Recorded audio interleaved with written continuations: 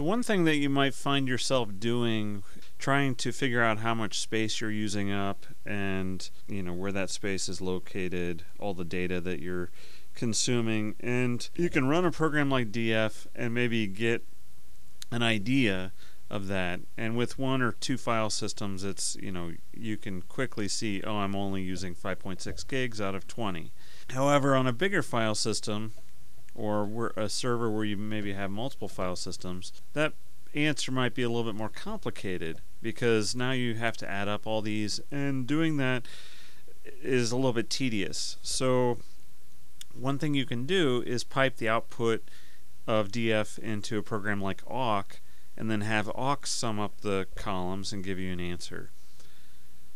So the first thing that we have to do is get the format of the data into something consistent so that we can easily use awk. On this server, we um, I I'm using Logical Volume Manager, so the file system name, um, each file system device name is quite long, and DF uh, splits the output across lines so that it fits into the normal 80 character wide terminal. You can get around this by using the uh, capital P option, which means uh, enable POSIX mode, and that'll put things into um, into columns and all in one line. Uh, one thing you can do if you just want to display that a little bit nicer, you can actually pipe it into column dash T. However, we don't really care about that. So in this case, we just want to pipe directly into awk. And what you want to do is start building up a variable that's going to hold your, your sum of all your file systems. So we say sum is equal to, or plus equal to, and then the third column. So this plus equals means take the value of sum and add the third column to it. So the third column is the used column. And at the end of this we want to print out whatever is in our sum. So we say printf and that will be the uh, integer value.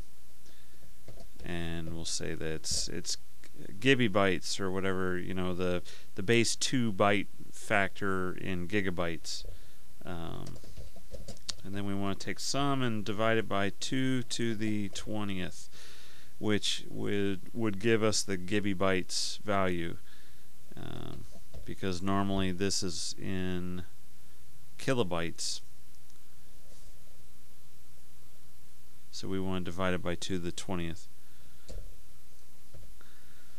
and there's our answer so this all our file systems are taking up at least the data in all our file systems are taking up 308 gigabytes. I could also likewise do the second column to see how much the total amount of the file systems is. So I have a total amount of 365 gigabytes that I could uh, utilize.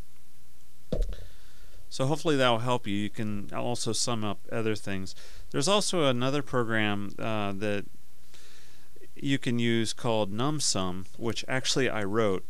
Uh, it's available in Ubuntu, Gentoo, and uh, a few other operating systems under the numutils package.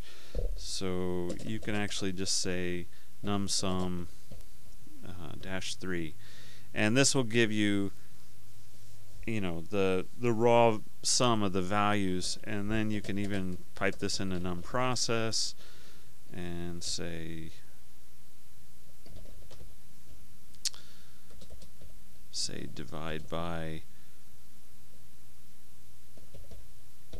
this is where it gets a little bit more complicated because num process doesn't have the same ability that awk does to do a calculation on the fly and hopefully I'll get this right there so by doing a substitute, a math substitution, I can get the value for 2 to the 20th uh, on the fly there, pass it into numprocess, and divide it up. Um, again, numsum and numprocess come with the numutils package, which is available on several OSs. Um, all right, hopefully this will help you out.